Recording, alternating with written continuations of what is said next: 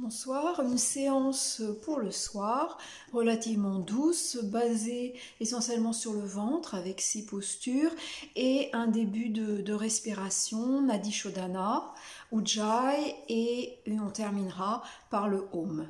Donc cette première séance est relativement douce, plutôt faite pour le soir, suivra une séance plus tonique, donc plutôt pour le matin, avec des respirations, des exercices sur le souffle yoga plus tonique pour le matin, notamment les bandas.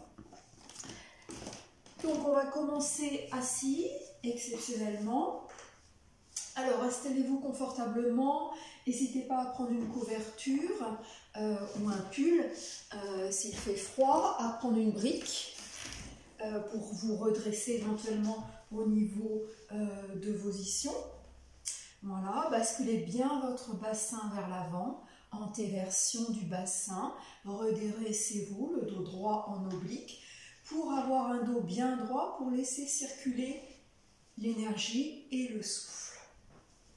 On va commencer par Nadi Shodhana, donc avec la main gauche, le pouce et l'index en euh, chin mudra sur le genou gauche et la main droite qui sera active la main droite, l'index et le majeur sont repliés et on va donc travailler sur le pouce, sur l'annulaire et l'auriculaire.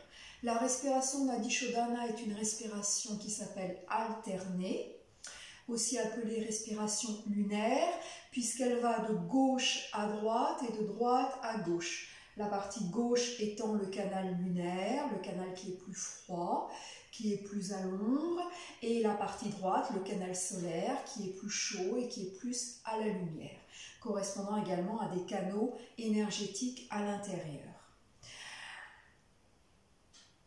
On commence donc à gauche, on inspire en bloquant la narine droite avec le pouce, on inspire par la narine gauche ouverte, une fois que l'inspire est faite à gauche, on ferme la narine gauche avec l'annulaire auriculaire et on expire par la narine droite en ouvrant avec le pouce droit.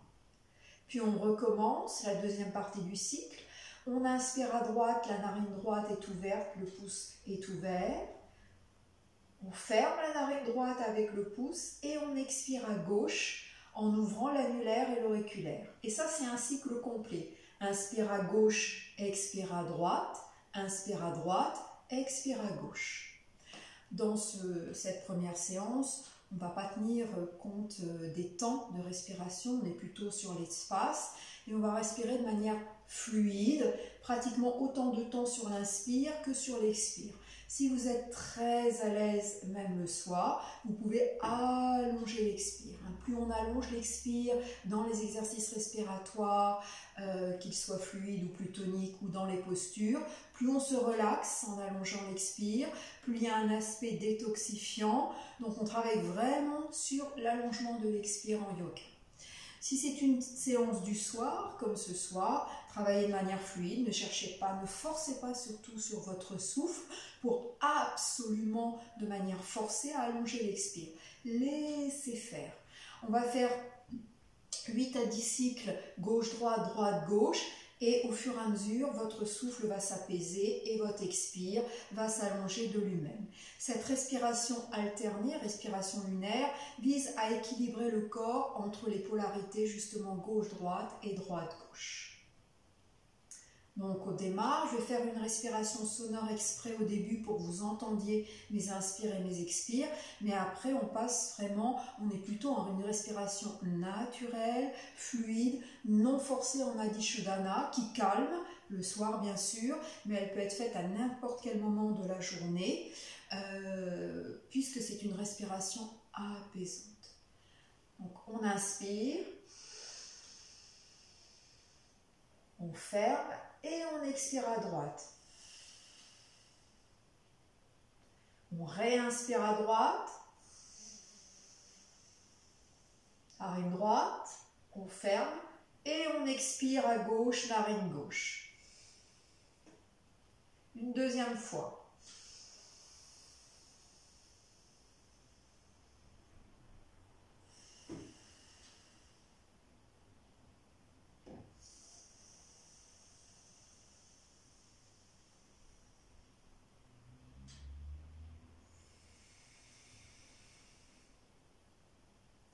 Puis on inspire gauche, droite, droite, gauche, en essayant d'avoir une respiration fluide, naturelle, non forcée.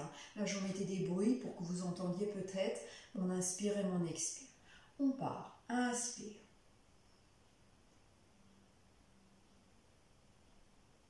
Expire. Le dos bien droit, les cuisses relâchées, les épaules basses. Inspire. Expire. Et à son rythme, relâchez bien les cuisses, les épaules basses. Laissez faire fluidement ce va-et-vient de gauche à droite et de droite à gauche. Laissez-vous aller dans ce mouvement et d'elle-même, la respiration va s'allonger, c'est-à-dire que d'elle-même, l'expire va s'allonger. Mais gardez toujours quelque chose de fluide, de naturel pour vous, concentré sur cet exercice.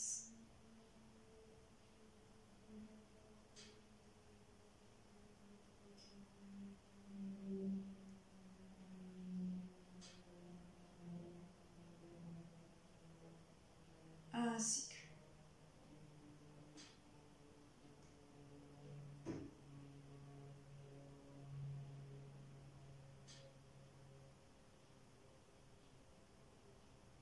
cycles. Pas de rétention ce soir. Inspire, expire, sans rétention poumon plein, rétention poumon vide. Troisième cycle qui commence.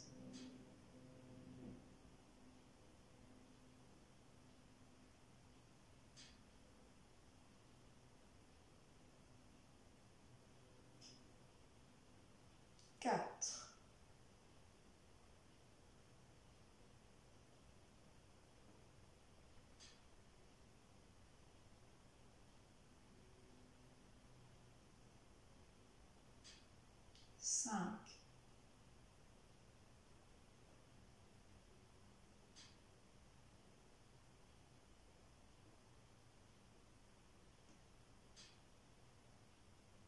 On commence le 6. Gardez bien le dos droit, relâchez le reste du corps.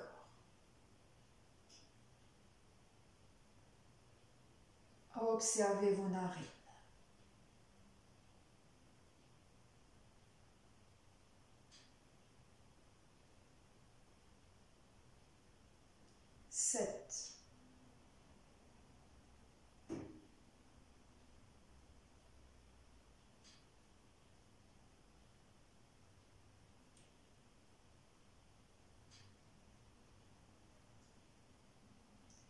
8.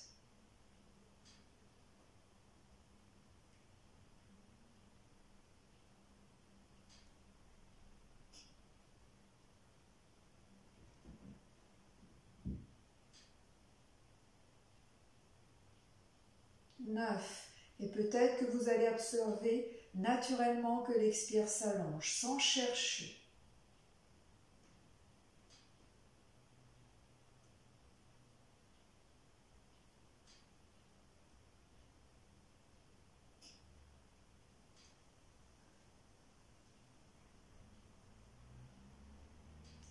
Et le dixième.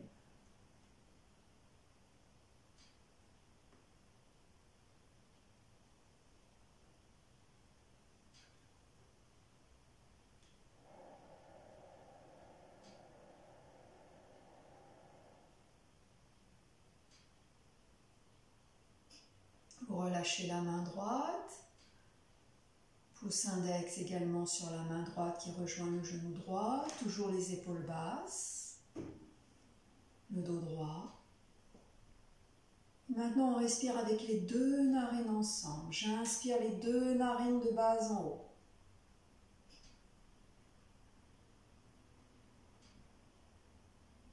Et j'expire de haut en bas avec les deux narines.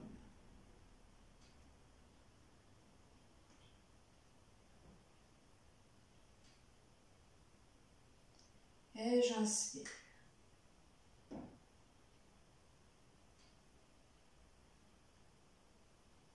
Les épaules basses arrivent au troisième étage claviculaire et j'expire par les narines ensemble.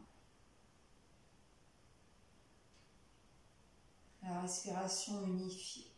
Une dernière fois, inspire de bas en haut, le niveau abdominal, thoracique, claviculaire et expire de haut en bas, claviculaire, thoracique, abdominal, jusqu'au bout de l'abdominal, le ventre engagé, le transverse engagé, voire le diaphragme pelvien. De telle sorte que lorsque le ventre est vide, l'inspire repart naturellement vers le haut. On fait ces deux respirations unifiées pour sentir à la fin de la première respiration le ventre complètement vide, engagé, qui automatiquement débloque naturellement la deuxième inspire. Première inspire. Les deux narines jusqu'en haut, jusqu'aux clavicules, les épaules basses.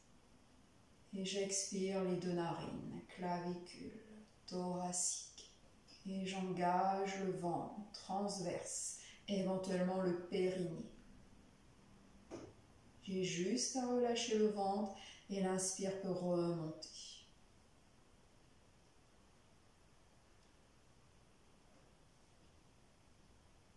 Tout l'espace, toute l'énergie déployée en moi. Et deuxième expire.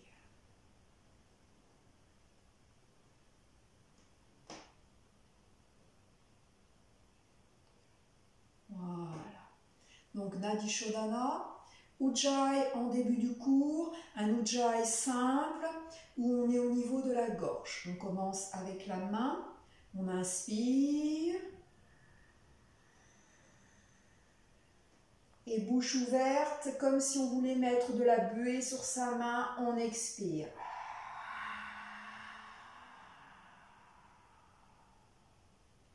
En émettant le son Ha.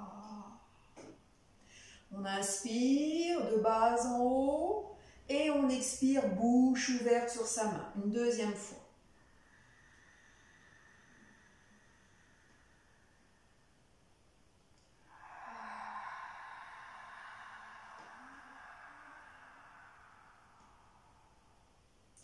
On recommence, on inspire par la gorge et on expire par la gorge, bouche ouverte, en émettant ce bruit dans la gorge et en descendant jusqu'au ventre engagé.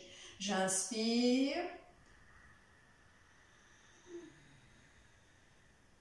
Et j'expire.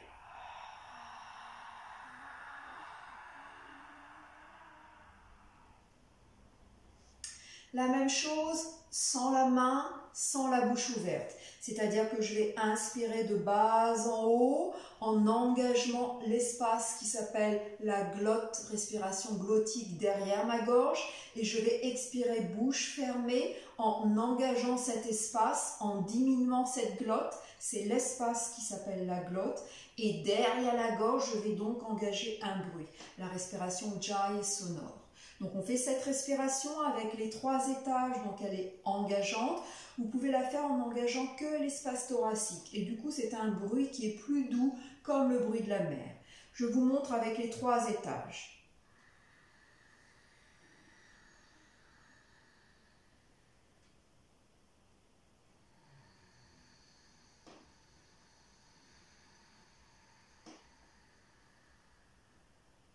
Nouvelle fois.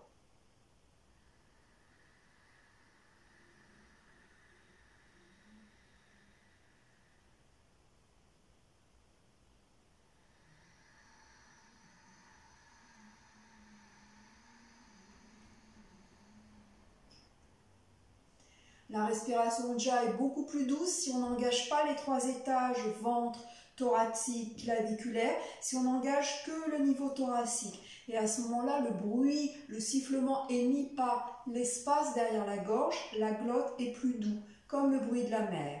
Donc au niveau thoracique,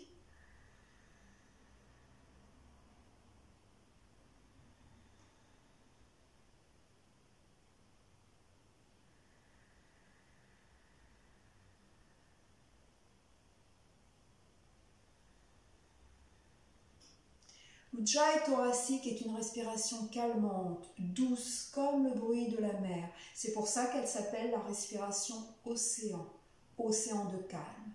L'Ujjayi complet, ventre, côte, clavicule, et on redescend clavicule, côte, ventre. L'Ujjayi complet est beaucoup plus tonique, beaucoup plus plus sonore, beaucoup plus guttural. Donc est plutôt à faire le matin euh, dans une pratique dynamique ou lors d'une salutation au soleil. L'Ujjayi, océan calmant au niveau thoracique à n'importe quel moment de la journée, y compris le soir. Je refais une fois l'Ujjayi complet, revigorant, et ensuite on fait ensemble l'Ujjayi thoracique, beaucoup plus doux, beaucoup plus calmant pour le soir. Les trois étages, plus toniques.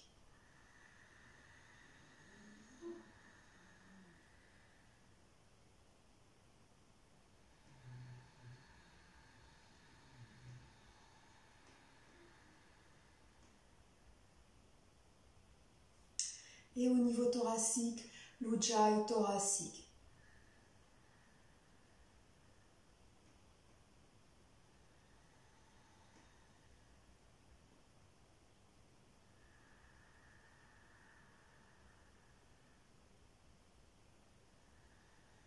Quand on les mains et les mains au niveau des côtes, les côtes qui sont relativement basses s'écartent, cage thoracique, puis à l'expire, elles reviennent. Inspire, ça s'écarte latéralement. Expire, ça revient.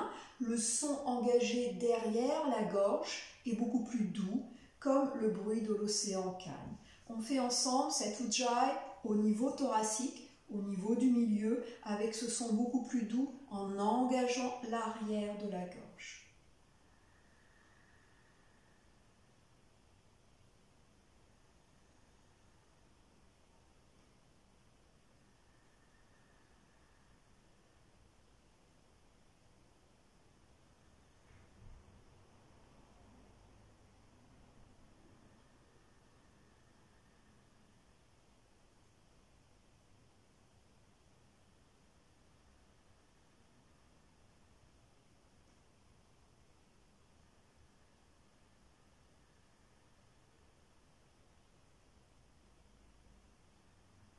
Voilà.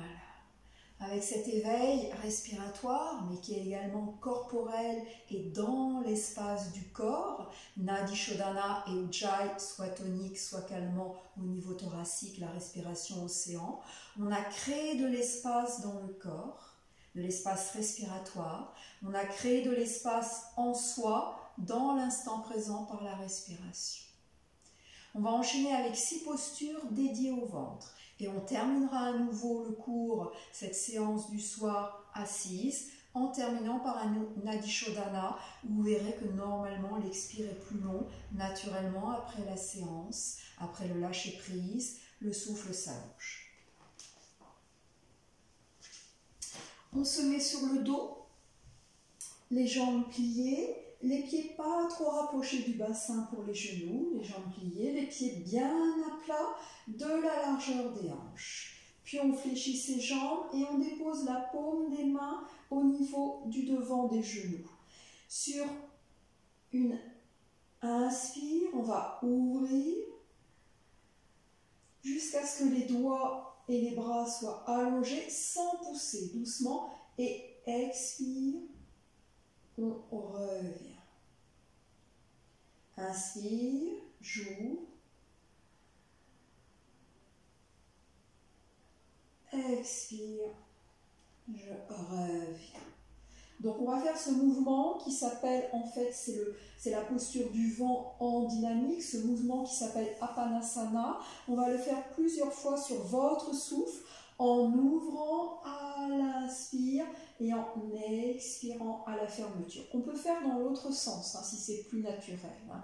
C'est-à-dire qu'on peut expirer en poussant et inspirer en ramenant à ce moment-là le ventre.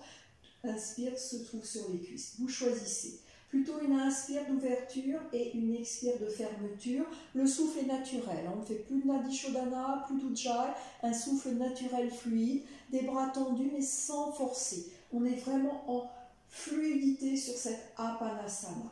J'inspire. Et j'expire.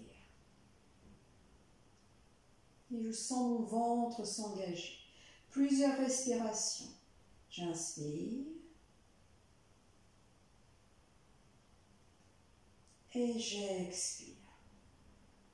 Toutes ces postures que l'on va faire, les six postures, tourne autour du ventre et donc du lâcher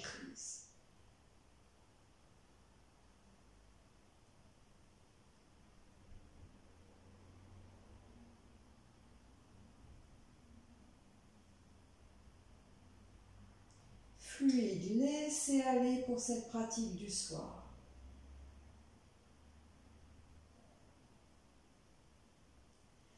dans cette pratique, vous allez peut-être sentir des bruits au niveau de votre ventre. C'est qu'on réveille justement cette zone ventrale par les postures et par les exercices. Dernier exercice, dernier apanasana, je pousse sans forcer la paume de la main délicatement vers le devant de mes genoux et j'expire. Voilà. On va engager par une torsion du ventre la posture de l'estomac. On allonge la jambe droite au sol. On plie la jambe gauche sur la cuisse droite en mettant la plante du pied gauche sur la cuisse droite.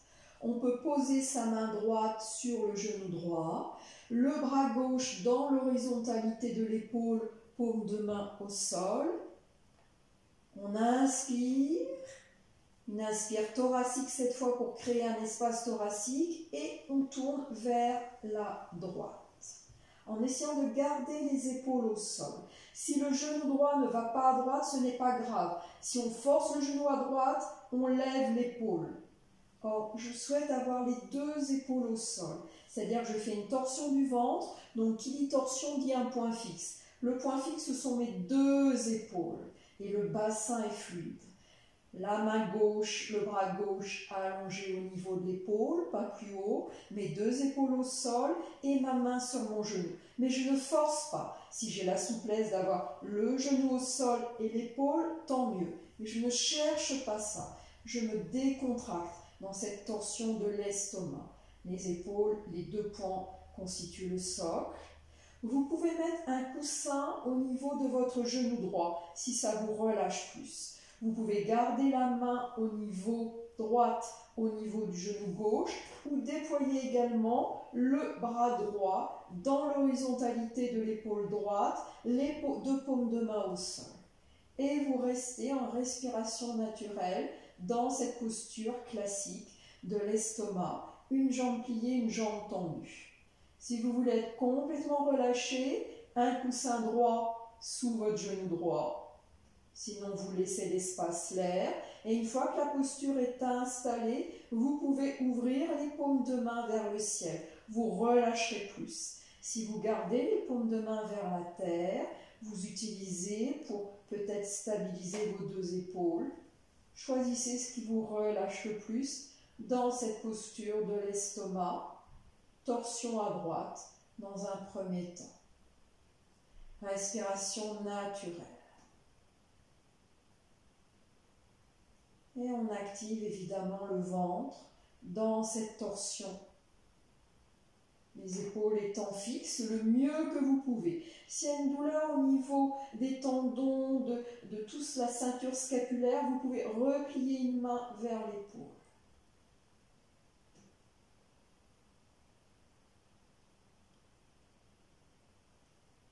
Si vous êtes à l'aise au niveau des cervicales, vous pouvez, alors que la jambe droite, gauche pliée et vers la droite, le bassin en torsion vers la droite, vous pouvez tourner le cou vers la gauche, c'est-à-dire une torsion du bassin vers la droite et une torsion des cervicales vers la gauche qui assure une torsion complète de la colonne dans cette posture de l'estomac.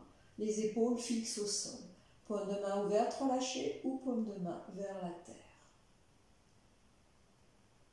et vous laissez faire la posture dans un souffle fluide.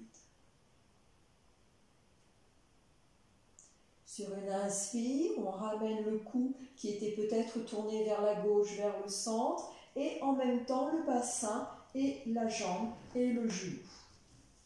Vous pliez vos deux jambes vers vous, vous enlacez dans la posture du fœtus enlacé. Le dos au sol, dans une colonne vertébrale droite qui retrouve son axe. Les vertèbres cervicales, le regard vers le plafond, les vertèbres dorsales, les vertèbres lombaires, le sacrum. Les courbures naturelles, la lordose lombaire, la syphose thoracique, la lordose cervicale, la syphose sacrale à l'intérieur, de telle sorte que notre colonne vertébrale en fait est une succession de courbes. Le bombé de la syphose du sacrum, du coccyx, la courbure, la cambrure de la lordose lombaire, le bombé thoracique en syphose et la courbure, la lordose cervicale. Vous laissez ces courbures naturelles. Ne cherche pas à enlever les courbures. On vit avec ces courbures en conscience. Puis la posture de l'estomac de l'autre côté, cette fois c'est la jambe gauche qui est étirée, la jambe droite pliée dessus. La main droite allongée au sol dans le prolongement de l'épaule droite, pour l'instant la paume droite au sol, la main gauche qui vient sur le genou gauche. On inspire, thoracique, et dans l'inspire on plie. Et on tourne vers la gauche son bassin. Donc je répète, on ne force pas le genou au sol, ce qui aurait tendance à décoller l'épaule droite. On cherche à avoir les deux épaules au sol, le point fixe de la rotation. On peut placer un coussin, des briques, des dictionnaires en dessous du genou gauche. On peut garder sa main, on peut enlever la main gauche, la mettre à l'horizontale de l'épaule gauche, paume de main au sol ou paume de main ouverte. Et si les cervicales sont bien ce soir, du fait que le bassin a tourné vers la gauche, on peut tourner la tête vers la droite. Les deux épaules au sol, le bassin libre. La colonne vertébrale en torsion, cervicale vers la droite, puis les dorsales et les lombaires vers la gauche. Les cervicales sont fragiles, vous gardez la colonne cervicale dans l'axe, le regard fermé ou les yeux vers le plafond. Et vous relâchez dans la posture. Les deux mains au sol ou une main sur une épaule s'il y a une fragilité de la ceinture scapulaire. Et le même main au sol ou sur le genou, comme vous préférez pour accompagner le mouvement sans forcer. Respiration naturelle dans cette torsion de l'estomac qui engage le ventre. Deuxième posture.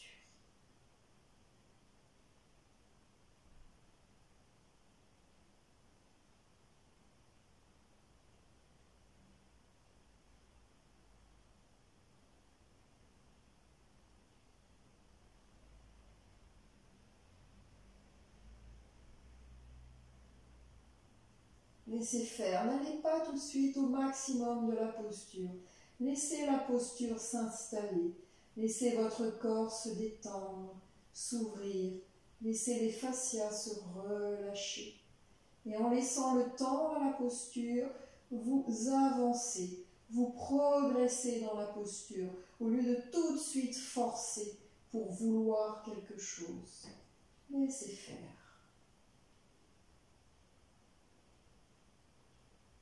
Puis on revient en douceur sur une inspire, la tête au centre. On ramène la jambe et on plie les deux jambes en flexion vers soi, le fœtus enlacé. J'inspire au centre. Choisissez l'inspire que vous souhaitez, soit dorsale, de bas en haut dans la colonne vertébrale, et l'expire qui redescend dans la colonne et qui s'évase dans les lombaires ou une respiration ventrale. À l'inspire, le ventre se gonfle comme un ballon le long des cuisses. Et à l'expire, le ventre se dégonfle. Le ventre est engagé à l'expire, les muscles profonds du transverse et l'évasement de la colonne vertébrale des lombaires vers le sol. Inspire au centre, au choix. Expire. Engagez le ventre le transverse profond et tenir sur le flanc gauche. Puis inspire au centre et expire à droite. Engagement du transverse profond, des abdominaux et on tient en équilibre. Si vous tombez, ça n'a aucune importance. Sur le flanc droit jusqu'au bout de l'expire.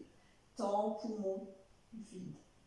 Et je reviens au centre, inspire. Une fois votre rythme.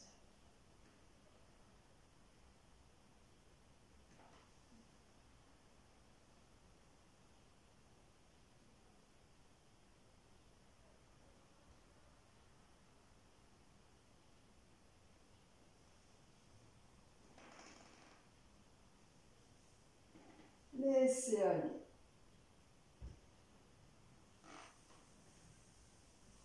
Puis relâche les bras, la jambe droite au sol et la jambe gauche au sol. Et on va passer dans une troisième posture qui engage le ventre, qui est plus tonique cette fois, une posture ventrale, la posture de l'arc. Vous pliez vos bras, les paumes de main sous les lombaires, vous inspirez et vous expirez en engageant le ventre, les lombaires écrasent les mains, puis vos bras se dressent et vous vous redressez sans engager les lombaires. On part vers l'arc. On se met sur le ventre. On exerce sur le ventre. On teste ses quadriceps. On plie ses quadriceps on voit s'il est possible d'attraper ses chevilles, d'attraper le bout de ses pieds. Si c'est difficile, on prend une écharpe, une sangle que l'on passe autour des pieds qui permet de tirer comme ceci. Et en fait d'allonger les bras. La sangle autour des pieds et vous allongez. Sangle ou écharpe? Sangle ou écharpe.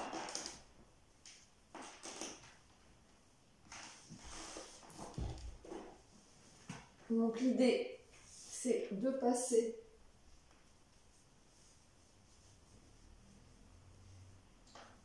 une sangle ou une écharpe autour de ses pieds vers l'extérieur pour pouvoir ensuite faire l'arc comme ceci. Si les mains n'arrivent pas à joindre les chevilles par rapport à une souplesse du corps, par rapport à une anatomie sur la longueur des jambes, la longueur des bras, par rapport à des des quadriceps. Si vous pouvez facilement attraper vos pieds, vos chevilles, vous faites l'arc sans sangle. Voilà. Alors on va partir. On aligne bien le front dans l'axe de la colonne vertébrale. Hein. Pas de rotation, pas de flexion latérale à droite, à gauche de la tête. On plie les jambes. On prend le bout de ses pieds ou ses chevilles. Les épaules sont bien ouvertes.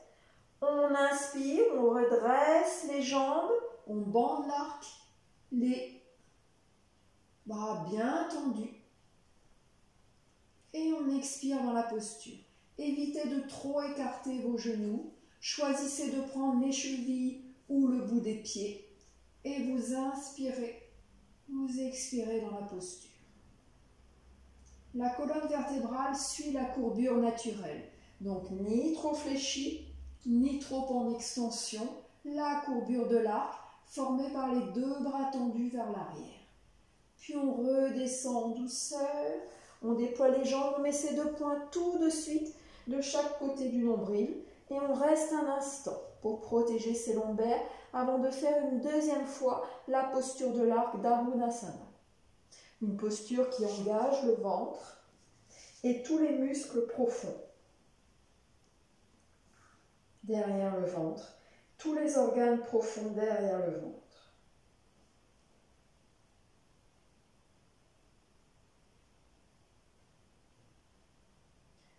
Relâchez complètement les deux points autour du nombril. Relâchez complètement et écoutez peut-être les battements de votre ventre. Tant que ces battements du ventre sont sensibles, vous laissez les deux points.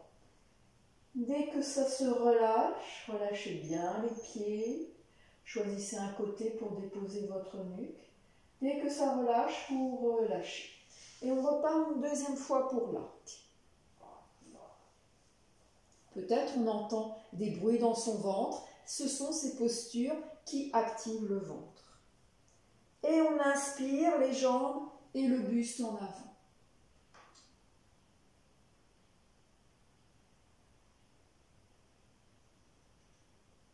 Restez bien dans l'axe, restez bien dans le plan sagittal. La courbure de l'arc, les épaules, les omoplates rapprochées, les bras tendus, les genoux relativement proches. Et vous inspirez et vous expirez dans la posture.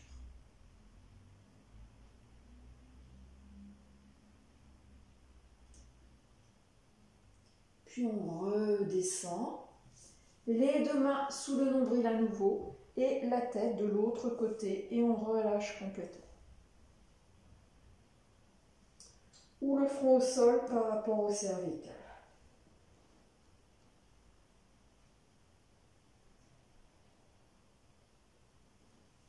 Relâchez complètement les pieds. Complètement déposés. Point autour du nombril.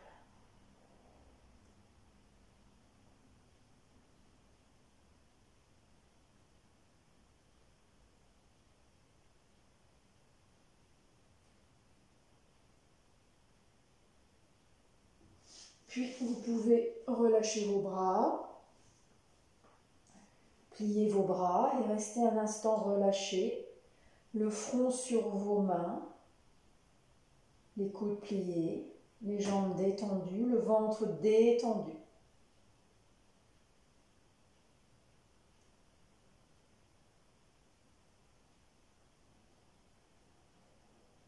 Laissez faire les bruits intérieurs de votre corps, particulièrement du ventre.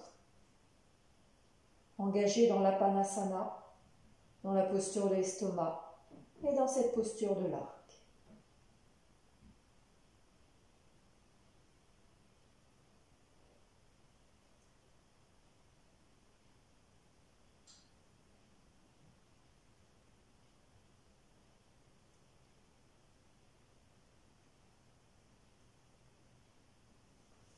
Se redresse en douceur, les deux mains au niveau des épaules. Et on va passer dans la posture du diamant. La posture du diamant, donc on est sur ses talons.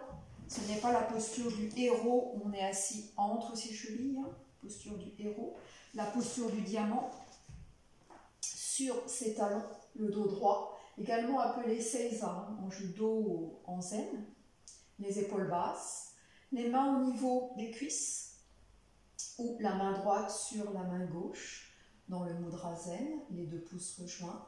Et on reste un instant dans cette posture du diamant. S'il y a une douleur au niveau des talons, vous savez, vous pouvez mettre un coussin ou passer en héros si c'est plus confortable ou prendre un petit banc qui est fait pour ça, très très confortable, où il y a, le banc est légèrement incliné pour juste avoir la bascule du bassin et ne plus avoir ce contact un talon. Donc là, on peut rester euh, peut-être pas des heures, mais c'est un banc typiquement pour méditer dans cette posture Seiza, dans cette posture du diamant, en n'ayant plus de sollicitation au niveau des genoux ou au niveau du bassin. Voilà. Le banc de méditation zen. Là, on reste peu de temps dans la posture, donc si c'est possible physiquement, on n'est pas obligé d'utiliser le banc et on reste dans cette posture du diamant. Il faut savoir que cette posture du diamant est également bénéfique pour le ventre. C'est la quatrième posture du cours, Apanasama, Estoma, Arc. Donc cette posture, si on reste 10 minutes dans cette posture, elle est, elle est très bonne par rapport à la digestion hein, pour le ventre, à condition de pouvoir la supporter au niveau du genou, au niveau des chevilles, d'avoir les épaules basses, d'avoir un dos droit, pour pouvoir respirer naturellement, que l'on soit en méditation ou pas. Détendez bien vos mains, vos bras. Fermez vos yeux. Le menton à l'horizontale hein, pour avoir toujours le dos droit. Les cervicales ni en flexion ni en extension. C'est pas nécessaire. Le menton horizontal, le sommet du crâne érigé vers le ciel. Respiration naturelle dans la posture. Regard fermé ou regard ouvert vers ce qui est à voir, vers la verdure, vers la lumière, vers l'horizon, entre le ciel et la terre, entre la terre et le ciel. Regard intérieur également, avec tous ses sens, tous les éléments à l'intérieur de soi. L'eau à l'intérieur de soi, le feu à l'intérieur de soi, le feu du ventre, l'énergie vitale, l'énergie du ventre, l'air qui rentre, la respiration, l'oxygène, l'oxydation, le feu, l'eau à l'intérieur de soi, notre corps étant fait de 80% d'eau, les eaux du ventre, l'eau de la sueur, et la terre que l'on ressent dans cette posture du diamant, cette posture zen, avec le bassin, les pieds, les talons, le premier chakra, le chakra racine, Muladhara, ancré dans la terre. Donc l'élément air qui rentre par nos narines, l'élément feu, la combustion dans notre corps, l'élément eau, la fluidité de notre corps majoritaire, l'élément terre sur laquelle nous nous appuyons, nous nous ancrons, nous prenons racine. Ces quatre éléments et l'espace, l'éther, l'akasha, tout ce qui nous entoure, à l'extérieur et à l'intérieur. Les cinq éléments en nous et autour de nous, dans notre regard intérieur et extérieur.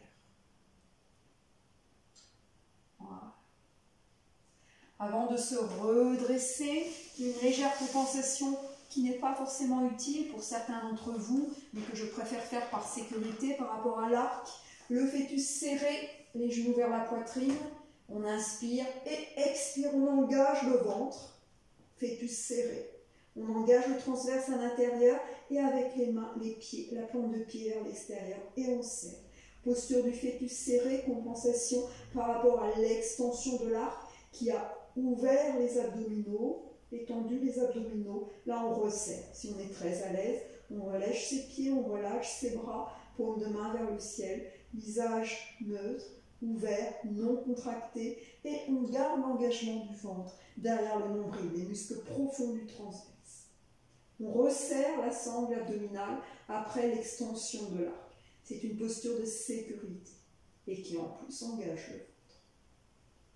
On respire par où on peut, c'est-à-dire par le haut du dos, puisque tout le bas du ventre est pris. On respire par le haut du dos. On est conscient de ce qu'on isole dans son corps les muscles profonds du ventre. On est conscient de relâcher le reste qui n'est pas nécessaire à cette posture de compensation au niveau de la sangle abdominale. Et puis on relâche les bras et les jambes.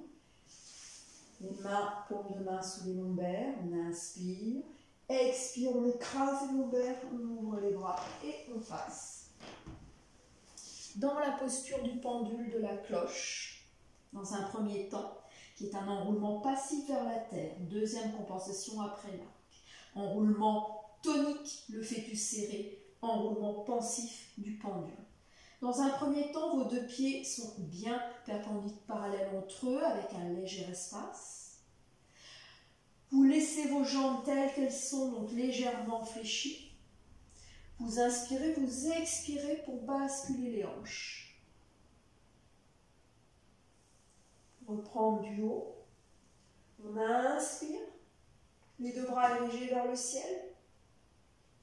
Et on expire en basculant les hanches. Mouvement de hanches. On peut fléchir les jambes. Et ensuite, une fois que les hanches ont fléchi, on enroule. On enroule la tête. Au choix, vous prenez vos coudes.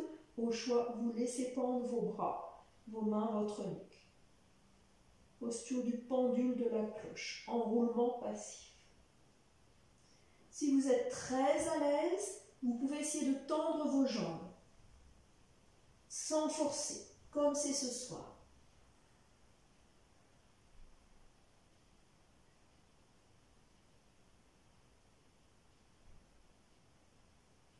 posture qui engage véritablement le ventre par rapport à cette flexion avant. Les mains neutres, les mains neutres sur la plante des pieds, Les mains neutres derrière les chevilles. Laissez faire.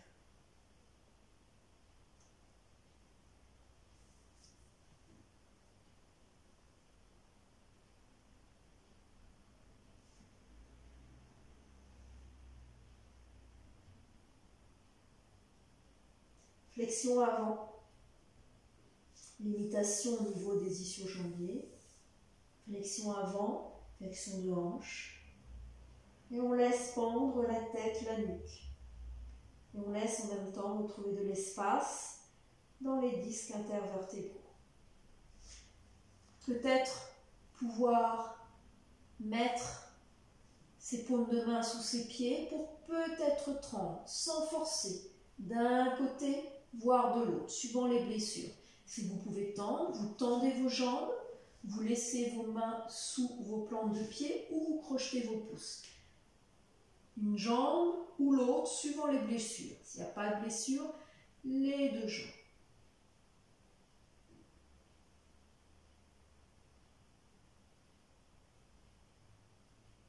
Et vous réenroulez.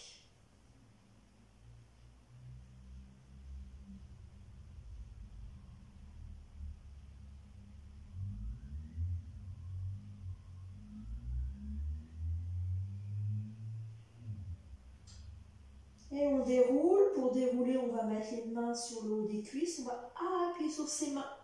On déroule en douceur. Pubis vers le nombril, de telle sorte qu'on n'a pas du tout engagé le lombaires. Puis le bas du dos, le milieu du dos, le haut du dos, les épaules qui se réouvrent et la tête en dernier. Et on se retrouve en Tadasana. Tadasana, les pieds ancrés au niveau du sol.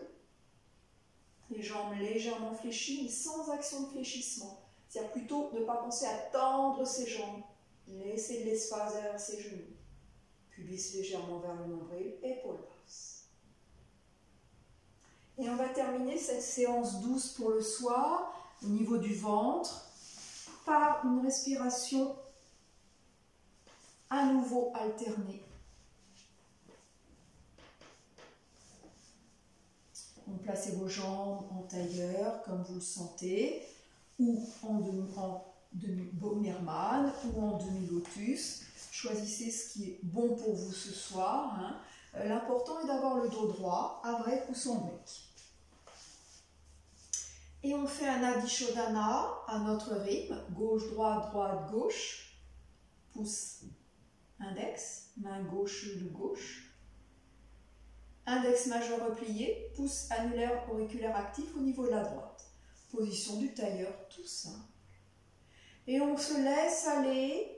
Inspire à gauche, expire à droite, inspire à droite, expire à gauche.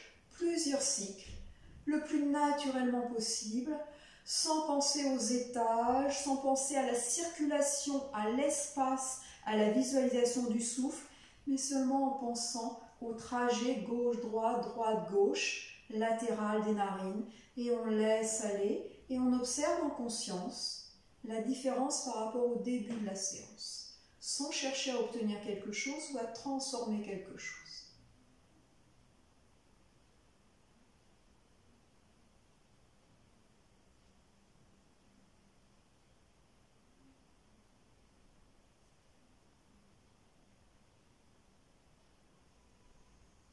Observez si dès le premier cycle, il y a un changement entre l'inspire et l'expire.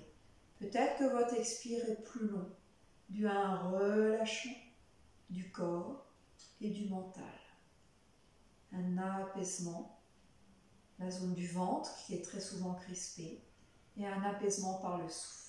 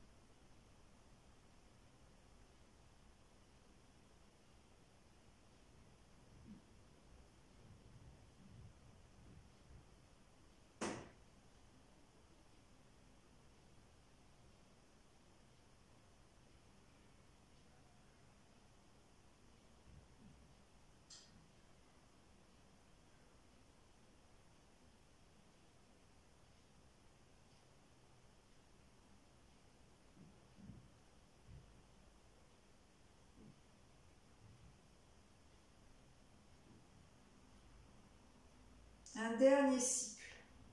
Gauche-droite, droite-gauche. Relâchez et en pleine conscience d'observation.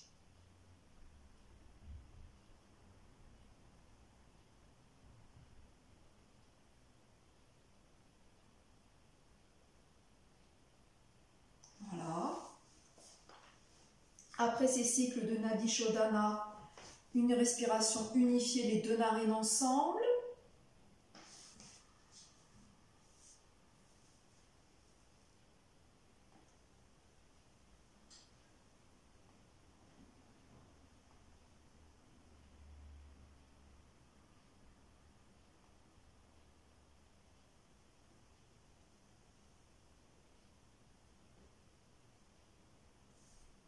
Et on va terminer en faisant le home, A-O-M. On inspire. Et sur l'expire.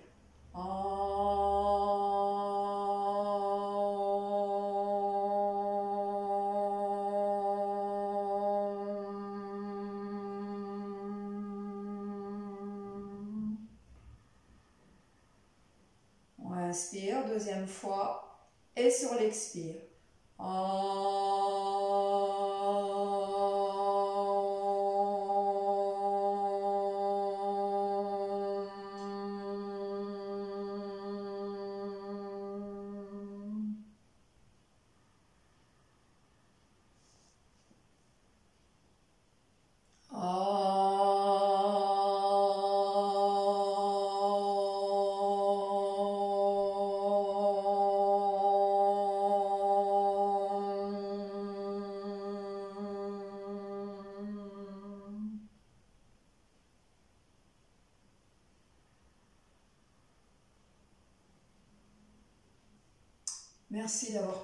ensemble ce soir. J'espère que ça vous a détendu, mis en présence avec vous-même, votre ventre et votre souffle. Namaste.